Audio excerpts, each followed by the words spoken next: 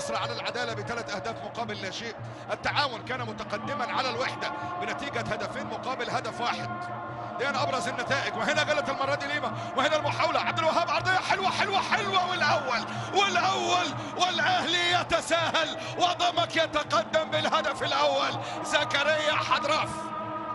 زكريا حضراف. هدف متوقع. هدف متوقع.